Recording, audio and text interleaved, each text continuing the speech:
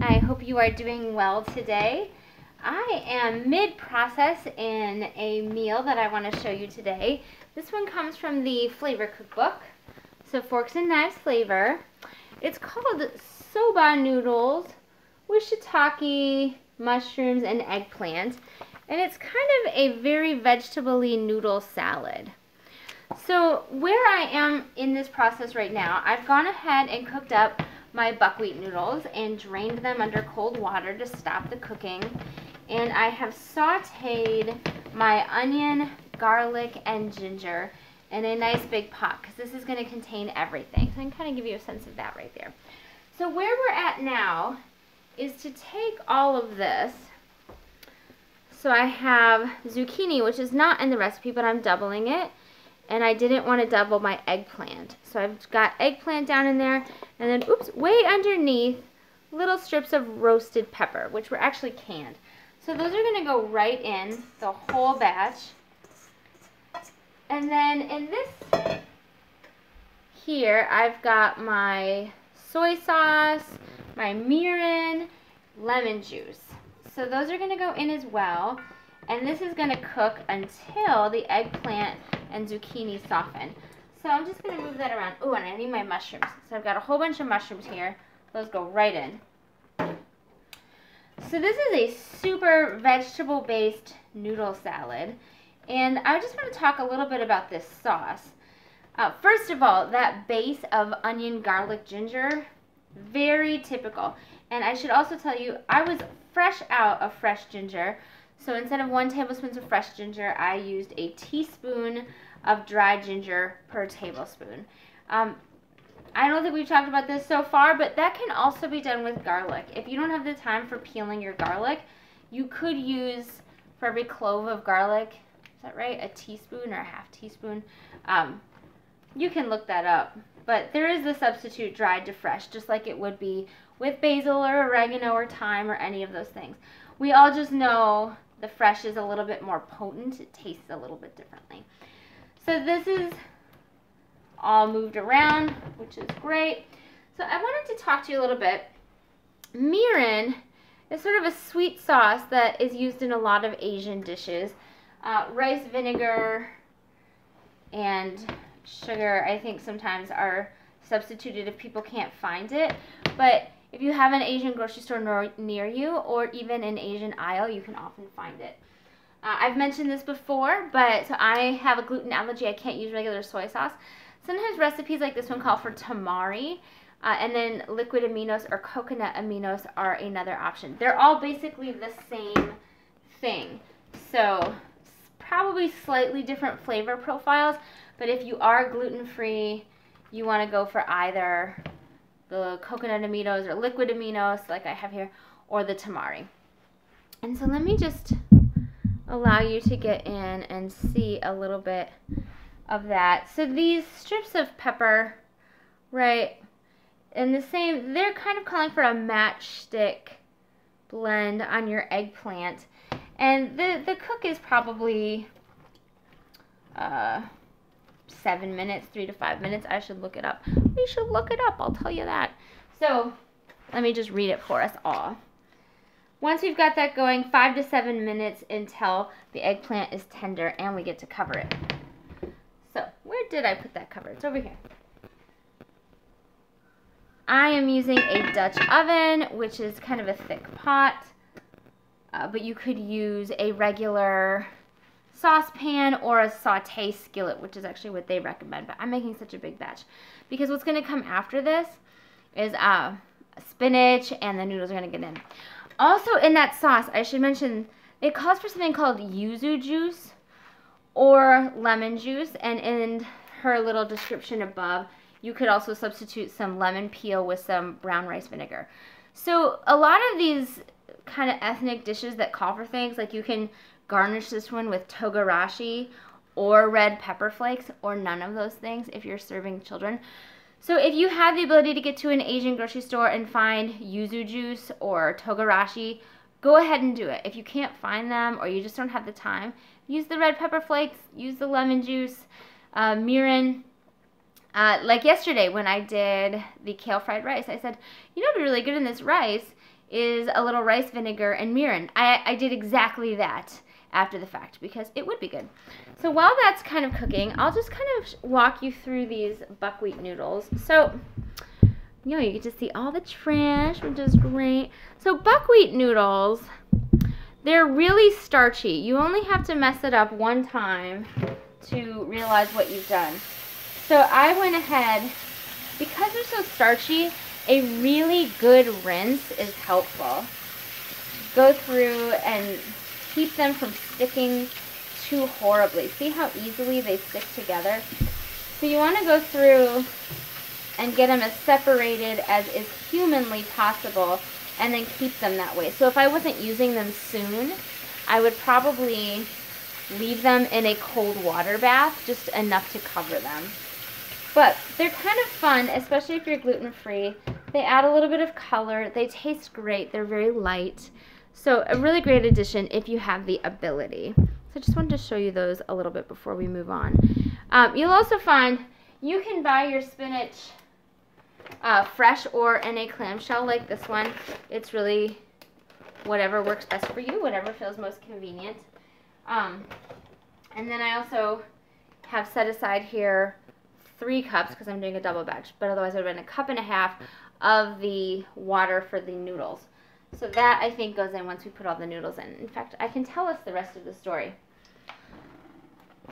I was almost going to read the wrong recipe. So once that's in there, if the noodles are stuck, transfer them to a bowl, add a half a cup of the reserved water. Uh, gently toss with the water to untangle the noodles. Add the noodles, the spinach, and a cup of the pasta water to the pan with the vegetables. Toss to coat with the sauce in the pan. Sprinkle with sesame seeds and red pepper flakes, and you can serve these noodles warm, room temperature, or chilled. So basically, you can make it, and however it comes out to the people is great. Unless, of course, you personally have a preference and you want to do it some particular way for yourself. So let me just come on over and check on these veggies here. They're cooking up really nice. So beautiful. Give you a little shot of them as well. It smells good. These Asian dishes are so good for that. Um, I did not do any additional chopping to my mushrooms. Could end up being a mistake. We have a couple of kids who don't love mushrooms that much. But we'll take the risk for now. Uh, I mentioned that my roasted red peppers were jarred. That's a little bit faster for me at this season in life. Another way that you can do it is to roast them yourself. So if you are lucky enough to have a gas stove, you can set them right on top of the fire and use tongs to turn around when they're cool. They just slip the, so they get a black blistery look to them and then you can just slip off the peels once they're uh, warm. Or you could, for instance, leave them whole or cut them in half and stick them on a roasting pan in the oven until they start to char and get slippery. I just don't have time right now, so I don't. But you absolutely could. It's fun for some people to be able to make their own stuff. And the jarred is probably more expensive. Maybe not, though. It depends on whether or not you get your peppers on sale or if they came from your garden or just how you came about getting those peppers. So, I'm sure we're really close here. The zucchini and eggplants do not take a lot of time. So it's not this like well, I put my stuff in and I got distracted. I went and did something else. You really don't want to walk too far away from your stuff. Um, but since I know that those noodles are going to go fast, I'm going to add my spinach ahead of time. Give it a chance to wilt down so that once I'm working with my noodles, I can work with them exclusively. The recipe calls for 12 ounces of spinach, so that means 24 ounces for me. This works out to be 22 ounces. I'm going to call that good. and it's going to cook way down and some fresh greens in your diet is really good for you. When I'm done with these, I actually cut them up further because they don't, otherwise they take up so much room in the recycling. So not my husband's favorite thing to do. Like, And now for our next cleaning up task, we'll cut this uh, and actually, that's a benefit. If you buy the fresh, you can use those mesh reusable bags that I've been showing you. Actually, I can show you one again. And then you wouldn't have to have the extra plastic in the world, these single-use plastics. So this is a reusable bag. You could stick your fresh spinach in there, close it up, and take it home. Um, I have stored a number of things just in these bags, but if you needed extra protection, just a regular kitchen towel uh, wrapped around something like your lettuce and stuck right in the fridge is fine so that you don't have to be utilizing a bunch of paper towel. And you could even get thinner, they call them tea towels, so you could get thinner towels yet. But who knew all these little things? For those of us who grew up in a world where everything was about plastic bags, we kind of lost that tradition of using what you have around the home and making sure that you would have little things like that around the home. So while we're talking about that kind of a thing, let's see if our spinach can be manipulated here. It's a lot of spinach at first, which always feels so overwhelming initially. Like, what am I going to do with this big pot of greens? No one in my family is going to want to eat it. But once it cooks down, it cooks down to almost nothing. You can't see it anymore. A whole lot of spinach does not go a long way. but it's so good for you.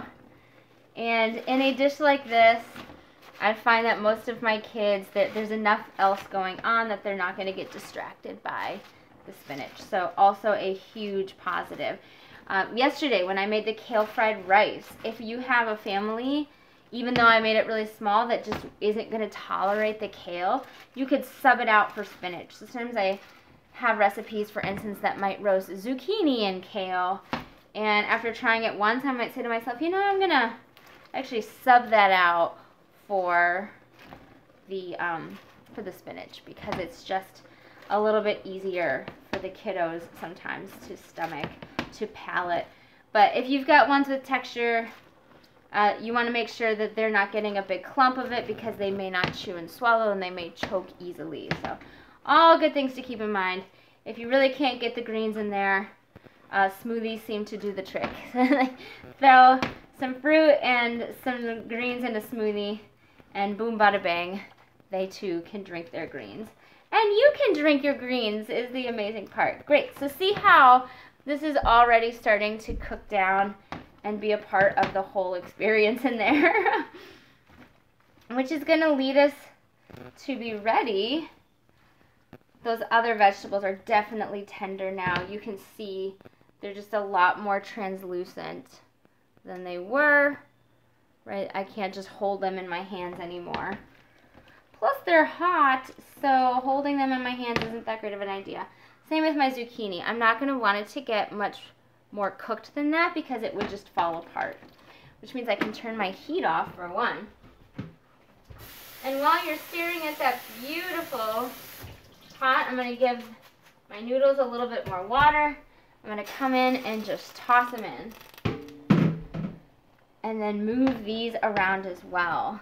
And that honestly is the whole meal. So I had done a little bit of prep work before coming on just so that you didn't have to wait for water to boil and that basic onion garlic mixture to saute. So we kind of caught it in the middle. But look how beautiful.